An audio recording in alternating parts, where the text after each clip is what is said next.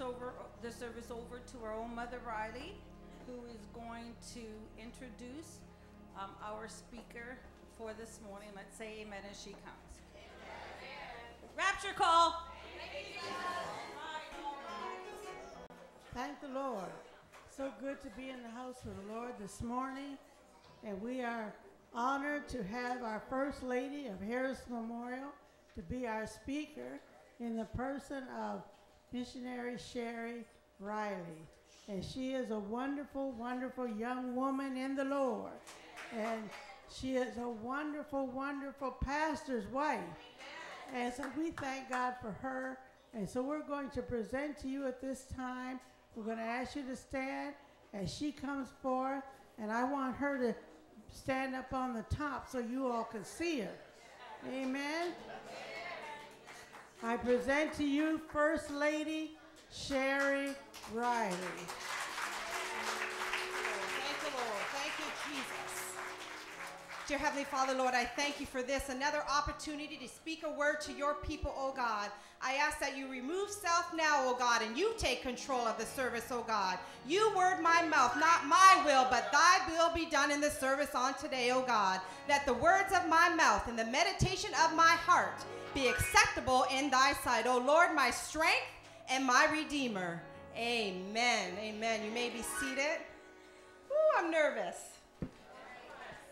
But God is good, and He did give me a word on today to give to you. And I just ask God to open up your hearts to receive what the Lord has prepared for you on today. Giving honor to God, who is my life, and to our bishop and Mother Riley, to our own pastor, my husband, Pastor Paul Riley, and to Mother Dean in her absence, and all you saints and friends. If you would turn with me in your Bibles to the book of Genesis. I gave Sierra a little bit of my topic, and she said to me this morning, Mom, it was hard not to go to your scripture. I said, You better stay away from, away from my scripture now. And she did such a wonderful job. The Bible says to train them up and the way they should go. And when they are old, they will not depart.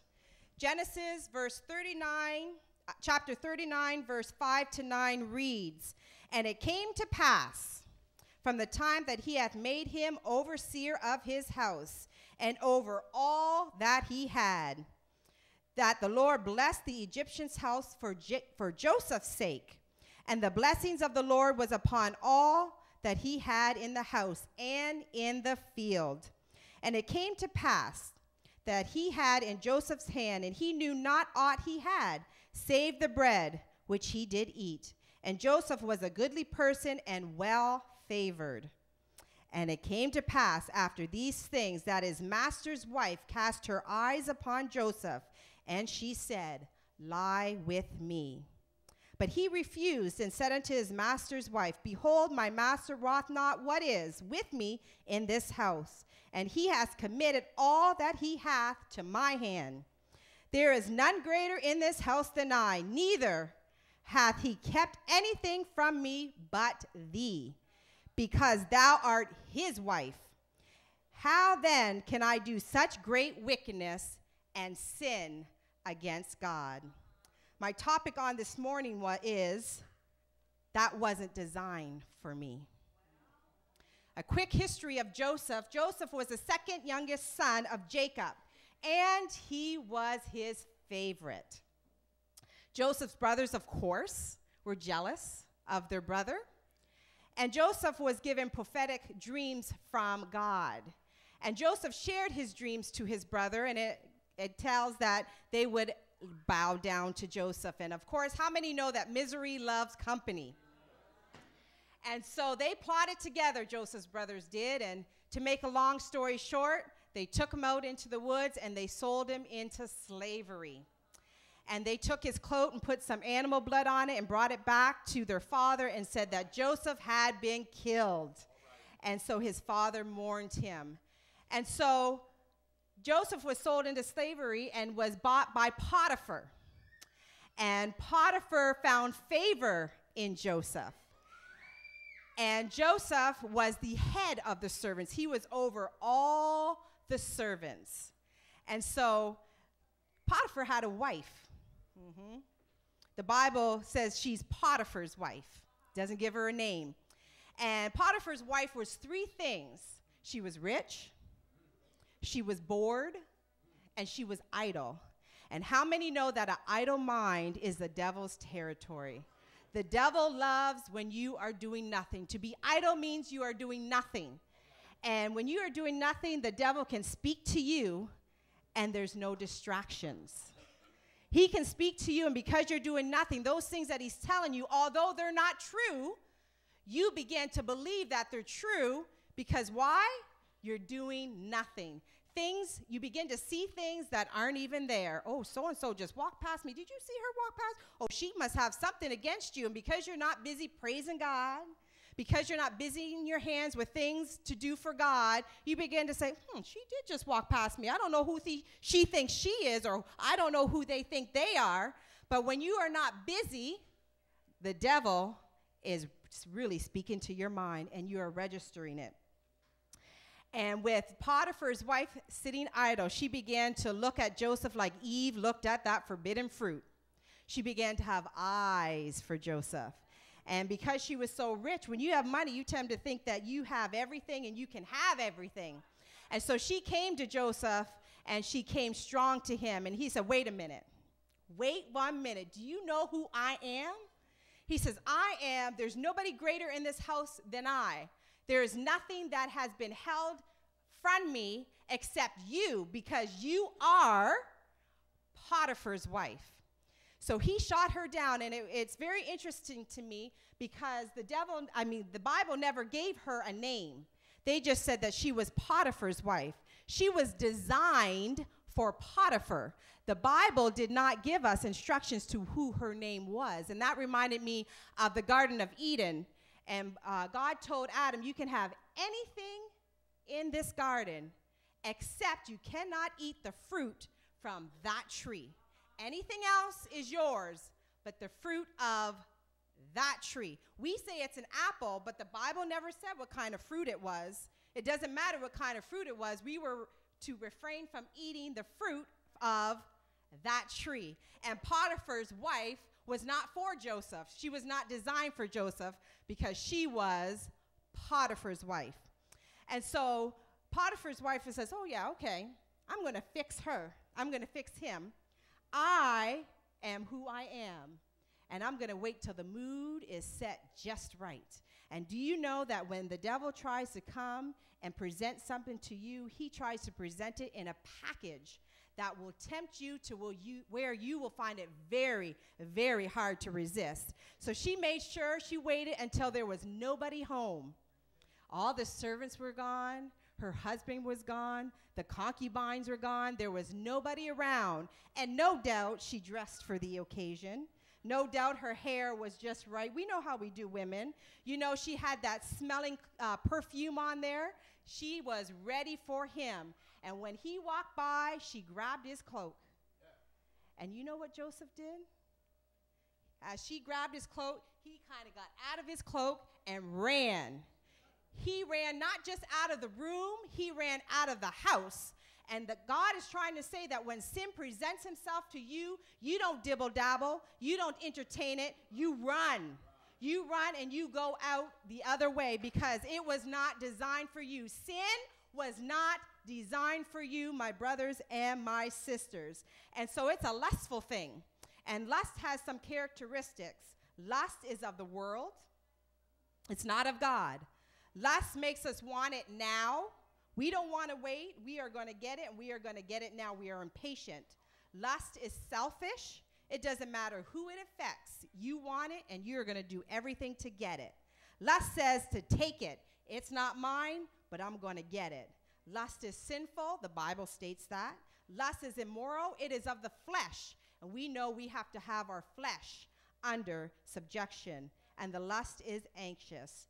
But the number one thing lust is not, lust can never be satisfied. You will never be satisfied if you are tampering with those things that God did not design for you to have or to be. And it made me think of the little shop of horrors. When they were starting to feed the plant. Did you guys ever see the movie or the play, The Little Plant? It was just little, and then it began to be fed, and it grew and it grew, and it just kept saying, Feed me, Seymour, feed me.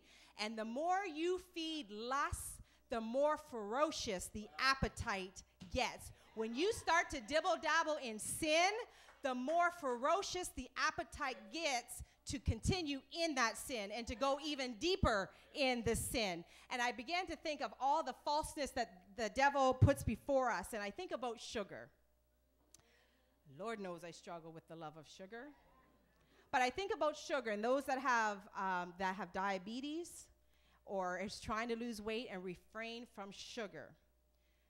Man has made a substitute for sugar. We call it the artificial sweetener and they do it so that it'll give you the taste, the illusion that you're having sugar, but it's not sugar. And the substitute, it is not healthy for you. It is not healthy for you. It is chemically made. Men got together, they have a laboratory, and they take a little bit of this and a little bit of that stuff that you shouldn't even be putting in your body. A little bit of this, a little bit of that, and they put it together and they create something that makes it sound like or taste like it's sweet. And so you can kind of trick your body to think that you're having sugar, but the body is a very, very, very, very smart machine that we have. And when you have your artificial sweetener, and if you see somebody who always uses that, a lot of times they're overweight because when you have sweetener, the body said, oh, sugar. And then it realizes, oh, that ain't sugar. I said, I want sugar. And so then you'll go and you'll go, you'll keep having, and the more you have, the more you want more. Why? because it's not satisfying you, because it's not the real thing. Artificial sweeteners, the chemicals that are in there, are not designed to be, to be contained by a human being. And that is just like the sin that, that the devil puts before us. It is not real. The only thing that is real, the only thing that is satisfying is Jesus Christ. And if you don't know him for yourself, you need to get to know him because he is designed for you. And I'm getting way ahead of myself. And I thought about the, the song, What God Has for Me, It Is for Me. What God has for me, it is for me. And we sing that song, and we don't want to be in the position where we take whatever we want to take, whatever's presented for us. We want what God wants for us. And I know my children whew, they hate when I use them as an examples, but as a mother, you raise your children to be, well, I'm raising my children to be God fearing children, to be respectful, and to be upright citizens. And I let my children know don't you bring just anybody up in this house to meet me and your father. I, you, I don't want no, no man that has been here, there, and everywhere, been dibble dabbling and everything on drugs, this, that, the other. I don't want no woman that is half exposed talking about where's my boyfriend. Don't bring those type of people in my house because you are a prince and you are a princess. Who my children are no special than your children. They are the children of the most high God. They are royal priesthood. And I tell them, you do not settle for nonsense. Young people, dating people that are not saved are not designed for you. You are not strong enough to bring them up and to make them be saved. That is God to change their heart. You are not the instrument to do it. You can be friends with them, but you are not to have a relationship with those that are not saved. They are not designed for you. We, when we had our uh, breakfast with the pastor, the young people, Sister Natasha said it great. She says it's so much easier if you're up on the chair. It's so much easier for someone to pull you down than for you to bring them up on the chair. So know your spot and know that they are not designed for you. So back to Potiphar's wife. Of course, when you when you don't give in to the devil, he gets mad and he tries to get even. So Potiphar's wife says, I'm going to fix him. I have his cloak because he left it in my hand. I have evidence. And she went and she said, He tried to rape me. I have the evidence. And so, to make a long story short, Joseph was put in prison. And you could say, He did what the word of God says. He resisted the devil. But yet, when he was with his brothers, he was sold into slavery, but the, the Potiphar found favor him, favor in him and made him head of the slaves. Then he was put in prison, but guess what? The prison keeper found favor in him. And so he had it made even in prison. And then in prison, he met Pharaoh's butler, chief butler, and his chief baker, and he began to interpret their dreams. And so as time went and the butler was back home with Pharaoh, Pharaoh began to have these dreams. And he couldn't remember them. And he says, What are these dreams that I'm having? And so then the butler remembered. He says, You know what? Back when I was in prison, there was a guy by the name of Joseph. And he interpreted my dreams, and he did it so accurately. And Pharaoh said, Go get him. So he get him, and through prayer, Joseph was able to interpret his dreams. And the dream was interpreted as this There's going to be seven years of bountiful crops, plenty, food for days. There's just going to be seven years of plenty. But then after that, there's going to be seven years of famine.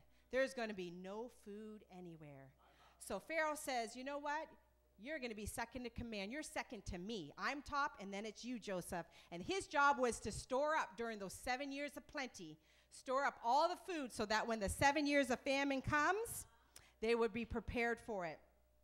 And I got so excited because during the seven years of plenty, I got to thinking about us as saints of God. It is so easy to praise God when things are going good. It's so easy to praise God when money is in the bank. It's so easy to praise God when everyone's treating you right. It's so easy to praise God when you have food on your table and your bills are paid. But we need to, it's in those times we need to store up. When it seems like the blessings of God are just everywhere, it's the time that you store up. As Sister Sierra said, you pray, you worship, you praise, you store it up. So when those famine comes, and yes, Christians, women and men of God, those days will come when the devil or life happens to you and situations come in your life and you're going to be like, whoo, but you have it all stored up. Your strength is there. Your strength is there. So you want to be stored up. And so during those seven years of famine, and I really have to cut this part short because it's on read what happens because Joseph's brothers come to him, be, well, come to Pharaoh because they need food because there's no food. And so Joseph does some things to his brothers, and they didn't recognize who Joseph was, but it come to make full circle. They find out who he is, and he's reunited with his father, and yes, his brothers do bow down to him, just like God had promised and showed in his prophetic dreams. And everything goes full circle.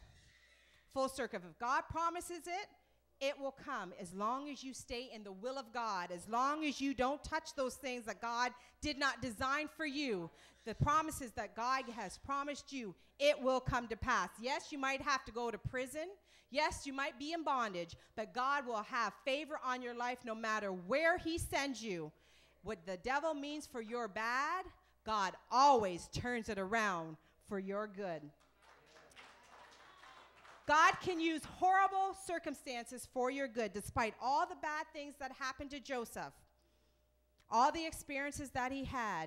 It had to happen because he was able to save the lives of many during that seven years. So when you are down and out and you're saying, Lord, why me? Say to yourself, why not me? Because there is a reason why I'm here. God places you in situations to make you stronger, to make his word come to be to come to pass. Because what he says is going to happen, God can do all things but lie. He does not lie. So you need to stand on the word of God. And there's a story that I told back down in ODF. Open Door Fellowship, our church in Amherstburg, and it fits along. And I know when Pastor's done his sermon, he always has a story. So I have a story today.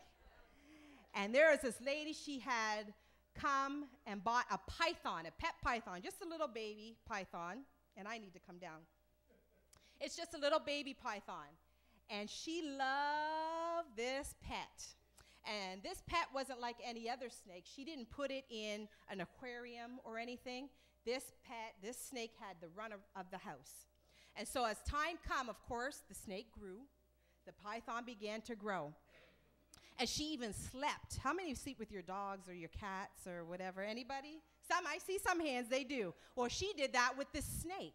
She had the snake lying in bed with her. And as time went, the snake got really big. And as time went, she went to try and feed it, whatever, if she feeds it, rats, mice, whatever, and the snake would not eat. And be, because she loved her pet so much, she says, Oh, Why isn't he eating? So she took that snake to the vet and said, Doctor, can you look at my snake? This snake is not eating, and it always eats at least once a week. He says, she says, Okay, well, you stay here. I'll go check out the snake. So he comes back. She said, No, the snake is healthy. There's nothing wrong with the snake. Don't worry. When he's ready to eat, he'll eat. So she takes the snake home and she's laying with it and petting it all down and you know, whoa, what's wrong with my snake? What's wrong with my snake? A couple weeks later, as she puts her arm around the snake, she noticed that the snake is fatter. She says, What's going on? There's something has got to be wrong with this snake because it's not eating, but yet it's getting fatter. So back to the vet it goes. And the doctor says, Okay, I'll examine I'll examine the snake, I'll let you know. And so she comes back, the doctor comes back and says, Ma'am, I'm sorry to tell you, I have to put your snake down immediately. She says, I knew he was sick. I knew he was sick. What's wrong with him? She says, Oh, no, no, no. That's, that snake is not sick. She's like, Well, why do you want to kill him? Why? That's my pet. I love him. She says, Well, you might love him. But didn't you say that he was sleeping up in your bed with you? Yes, yes, he is. Do you know that snakes aren't designed to be pets? Yeah, but I just love him. She says, Okay, well, I'll tell you what love does. While you're laying up, in that bed, that snake is not eating because that snake is preparing itself to eat something much bigger. And as you're sleeping, he's sizing you up and he knows exactly how big you are. He knows how much you weigh. He knows how wide you are. He says, and he is only about two days away from consuming you as you're laying up beside it and sleeping with it. It is getting ready to swallow you whole. You, my dear, are its next meal. And that's what I want to come and tell you today. God said to tell you that some of us are toying with sin. We are doing things and being with people that are not designed for us to be. And God is saying that thing is so close to consuming you, to destroying you. The devil comes but to steal, kill, and destroy. And so this is a warning call. I don't know what it is, but there is a warning call. There are some things that we need to not be touching. There are some people we need not to be with.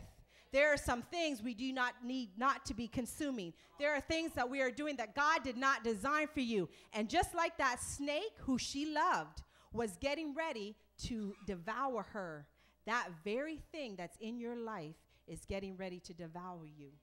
It's getting ready to devour you. But God says, I am a God of restoration and I am a God of forgiveness. And anybody that comes to me, I will give you rest. And you might be thinking, you know what?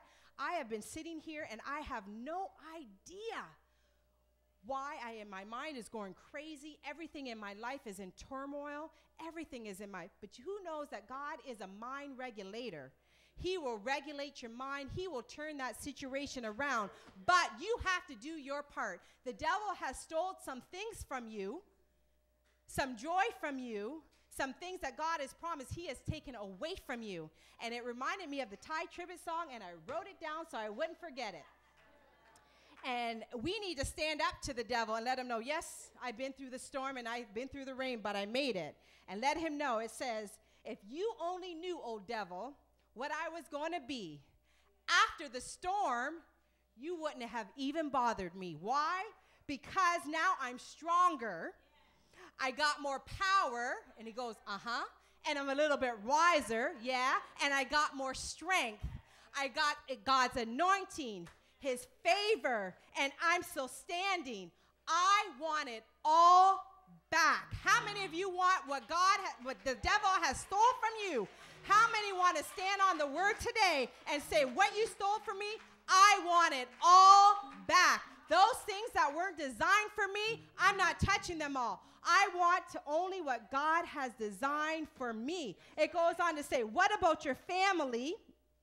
and your self esteem, even your destiny. Do you want it all back? What about the joy you tasted, the time you wasted? Do you want it back?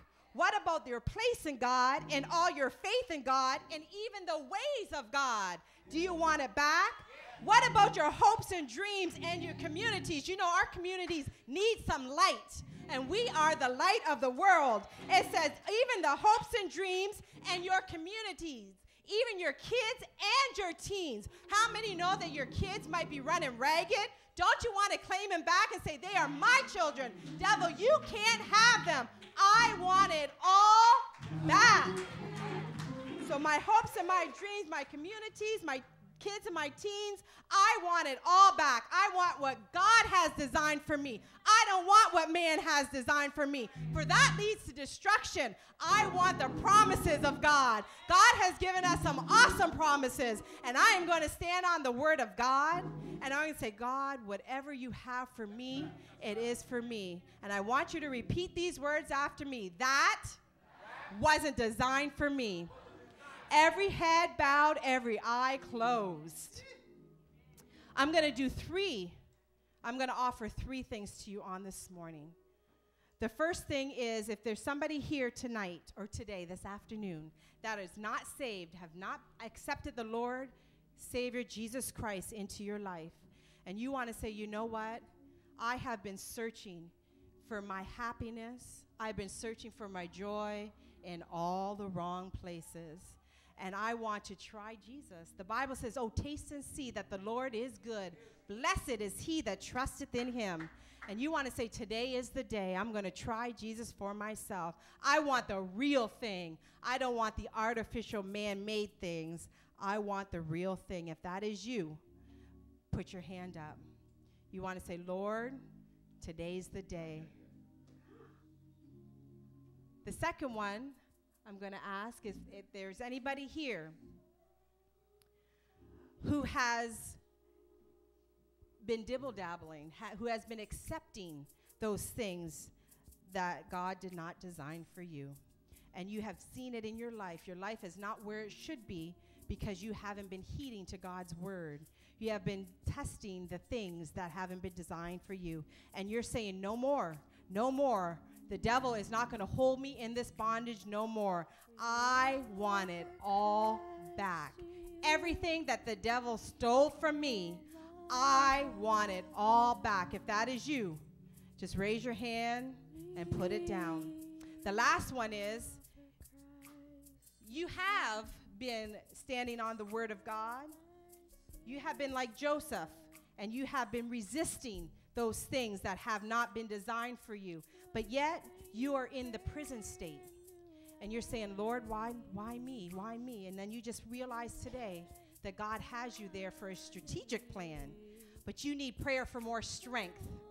That you can continue to stand on the word of God.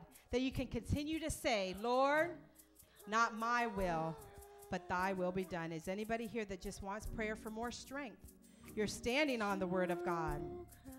At this time, I am going to turn this part over, this prayer over to our pastor.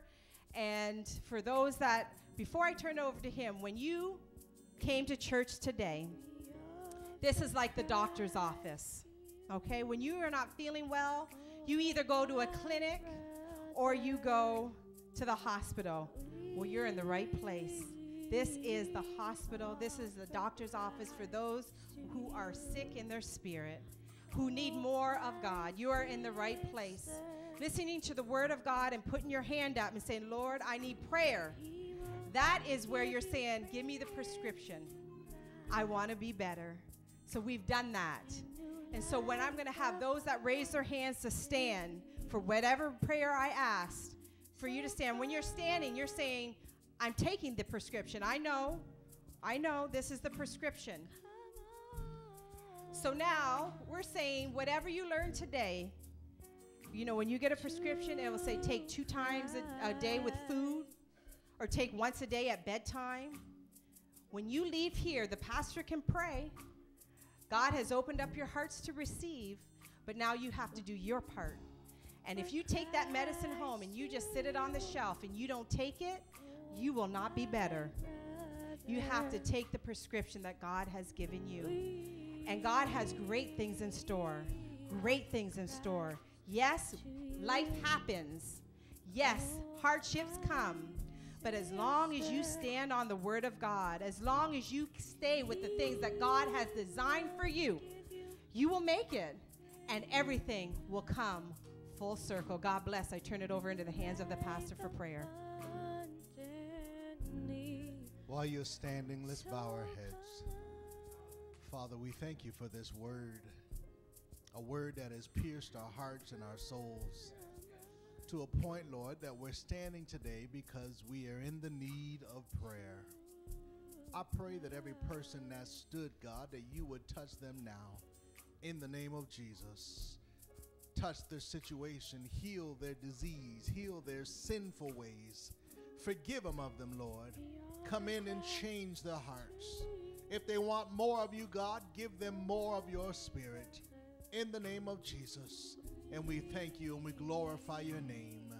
Amen and amen. Be seated just for a moment. Come on and give First Lady a great big round of God bless you.